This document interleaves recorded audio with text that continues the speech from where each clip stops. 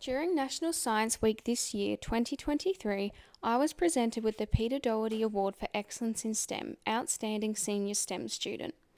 I travelled to the Brisbane Convention Centre to be presented with my award and to mingle and network with other winners and academics. Throughout this video, I will be showing clips of my time at Bribie Island, the awards ceremony, and South Bank. The Peter Doherty Awards for Excellence in STEM recognise students, teachers, support officers, schools, and education partners who demonstrate an outstanding and innovative contribution to STEM education in Queensland. It awards each winner with 5,000 Australian dollars. 2023 marked the 20th year of the awards named after Professor Peter Doherty, a Brisbane born Nobel Prize winning scientist who was educated at the University of Queensland. Peter Doherty, whom the award is named for, shared the 1996 Nobel Medicine Prize with a Swiss colleague for their discoveries about transplantation and killer T cell mediated immunity, an understanding that is currently translated into new cancer treatments. Due to this, he also won Australian of the Year in 1997. Peter Doherty is an exceptionally inspirational role model for Australians pursuing medicine, medical research, and other biological and chemical research. How do you apply? To apply for the Peter Doherty Awards for Excellence in STEM, there are multiple categories with different requ- requirements and application processes, which I will write in the comments. As someone applying for the Senior STEM Student Award, I had to write 500 words about what I had already done in STEM and my STEM experiences, and 500 words about my future plans in STEM. You must be in Year 12 and from Queensland. You will be given some dot points to respond to, and I had to upload proof of things I had achieved, such as scans of academic awards and STEM programs.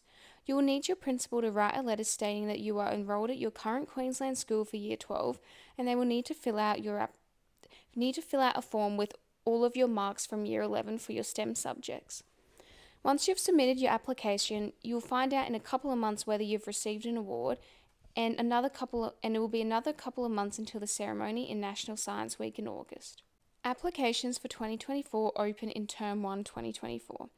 As I'm from a regional part of Queensland, the Department of Education funded a stay in a hotel at Southbank on the night of my on the night of the award.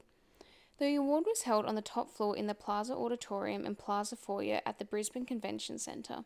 I had to register and was given a program, a badge, a name tag, and my prize money. In the main ceremony, I was presented with my award and was able to listen to speakers such as Laureate Professor Peter Doherty, the Director General of Department of Education Dr. De'Ath, Associate Professor Fiona Simpson, and Tegan Taylor from ABC. Peter Doherty himself was quite funny and an excellent speaker. Tegan Taylor was an exceptional MC and shared her experiences in a hilariously entertaining way. After the ceremony, we were invited to mingle in the foyer with drinks and canapes. Winning the Peter Doherty Award was amazing, and it was incredibly humbling to hear the achievements of other award winners. Overall, I am incredibly honoured to have been chosen to receive a Peter Doherty Award for Excellence in STEM, which is a once in a lifetime opportunity. It's literally once in a lifetime. Students are only eligible in Year 12. Receiving the award has inspired me to continue building my business in tutoring and supporting young students and women in STEM.